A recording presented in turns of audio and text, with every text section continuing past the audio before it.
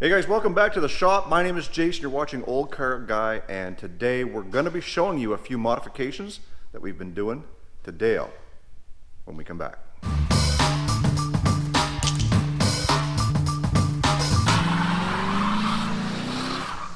So I wanted to fill you guys in on a little something that uh, I've been dabbling with on Dale here. And you guys all know that you've been watching this channel for a while now that we have got an engine and transmission ready, well not ready, uh, but another one that we're going to be putting in to uh, Old Dale here. So we're putting a four speed instead of a three speed transmission and my engine block and heads are out to the machine shop right now as we speak. Uh, they should be back hopefully today or tomorrow. So in the meantime, what I did was I posted this engine and transmission on Facebook Marketplace for sale. And lo and behold, people want this engine. Now I have determined that this 350 does have camel hump or double hump heads on it as well. I'm not sure what the casting number is, so I don't know if it's the performance ones that everybody's looking for. Uh, but nevertheless, they should be better performing than a stock head on a 350 and it does have the four barrel intake. Now, people keep asking me, well, what is the mileage on it? And I say, well, it's 80,000 miles. That's what's on the truck. The truck is all original. You guys saw it when I first picked it up. I have no reason to believe, based on the condition of the paint, the condition of the frame, the condition of everything else, that this is not an original mileage truck. So today I've got somebody showing up here at the shop. They want to hear it run, which is great because, you know, the fact that it's still in the truck, you can hear it run. There's another couple of guys who want to come on the weekend, and I woke up this morning to yet another text. So the only trick with this is I'm not ready to yank it out just yet because I don't have my other engine built. And what I want to be able to do is make it a weekend project to be able just to yank this setup and put the new one in. So I'm hoping that if I can get an interested party, that they can at the very least give me a down payment to hold on so that they get the first refusal when the time comes to yank that engine out. Otherwise, I'm not going to uh, save them uh, because you know how that goes. Somebody says, well, let me know when you got it ready and give me a call. So you, you get it ready, you call them and, well, they're not interested anymore. So you got to strike while the iron's hot. If somebody wants this, they're going to pay for it up front and then we'll get it yanked out when the time comes. So we're only talking about a week or so, maybe a two at the most. So that's the story on the engine. Let me get the truck up in the air and we'll show you a couple of other modifications that we've been working on to try and settle how this thing sits.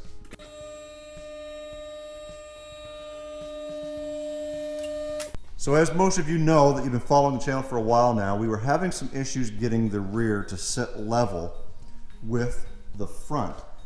We started taking measurements and the whole right side of the truck passenger side sits a little bit lower than the left.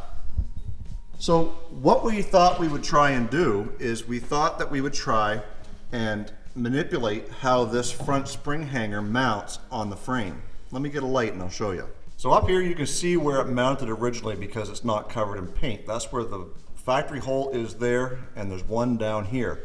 So what we did was we in fact lowered this almost two inches on the bracket and effectively only gained about 3 eighths, maybe half an inch in height on the back. We are trying to get this up.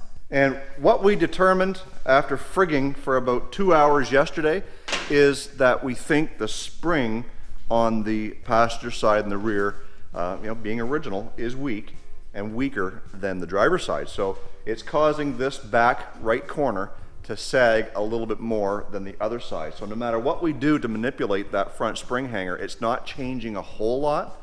But what we did do was we changed just this one at one point, set the truck down, and it lifted up this corner, which in turn puts the front driver's side down and almost levels the entire truck. So what I'm thinking that we're gonna have to do is we're gonna have to take that spring hanger, we're gonna put it back in the stock location, and eventually uh, pick up some new leaf springs to get this thing sitting level uh, in the back. So that is going to be a project likely for probably closer to the end of the spring once we get the drivetrain all looked after and all the little stuff. Uh, so that's something to look forward to is replacing those rear springs. Another thing that we've determined is that since we've lowered this truck The lower ball joint is now closer and the lower control arm to the bottom of this 15 inch rim. And I'm not sure if you can see it on camera, but we had to trim that bottom ball joint or control arm so that we could spin the wheel and not have any rubbing on that. So one of the things that we've determined as well is that we're not going to be able to make too much as far as hard lock turns with these 15 inch wheels on there because when you turn it, it's going to come up and hit the side of the control arm as well. And as you guys know, 18 inch wheels is likely the plan for this truck. So that's going to be something that we're going to have to do before we put too many miles on it uh, because I don't want that becoming much more of an issue. Also, you can see some wetness on that caliper and the reason is, is that brake hose seems to be leaking at the fitting. Now, when we were putting this on, I did have to bend that a little bit to uh, make sure that it would fit around that spindle.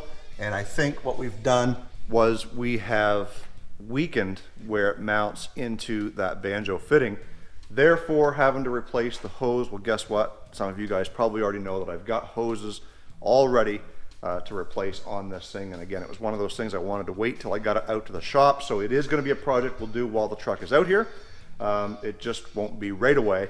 Uh, we're going to look after that probably over the next couple of weekends. I really want to get this engine and transmission set up, looked after, and get this thing back on the road. So that is it. That's where we stand with Project Dale to date. Uh, I'll give you more updates. I'll let you know if the engine and transmission sells. That's going to put a huge chunk of change back into the budget and help us afford those bigger 18 inch wheels and the tire package that we're going to be putting on this.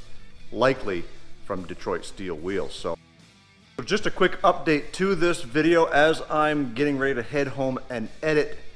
I get the phone call that buddy who wanted the engine and transmission, I should say one of the five guys that was interested in buying the engine and transmission out of Dale has committed. He's on his way out, cash in hand. So the engine and transmission is officially sold in Dale. It's going to help pay for the new build-up on the engine and transmission that we've been talking about all along. So just wanted to give you guys that update and uh, to make reference for the possible tiny bit of clickbait you may have seen in the thumbnail. Sorry guys, gotta get views somehow. Don't forget the Car Guy and Six Fan show alternates every week from my channel to Straight Six Fan and we sometimes even have guests. We're just a bunch of car guys talking cars and uh, we'd like to have you guys in the chat and join us. If you don't know who Straight Six Fan is, I'm going to put a link right up here so you can go over to his channel, subscribe to him. That way you get notified every time we go live on his channel. So keep in mind, we alternate back and forth. Thursday evenings, 7 o'clock Central, 8 o'clock Eastern. Hope you can join us. And as always, stay focused on the windshield, not the rearview mirror. I love you guys. God bless. Let's do it again in the next video.